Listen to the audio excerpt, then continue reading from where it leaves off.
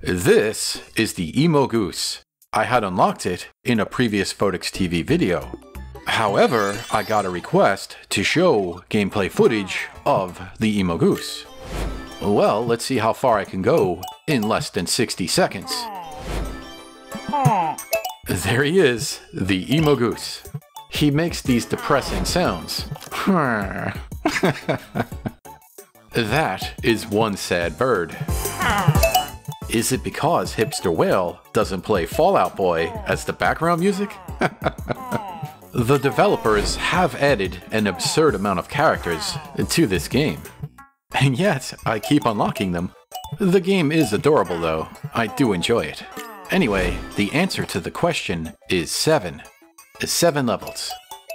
That's how far I was able to get with the Emo Goose in less than 60 seconds.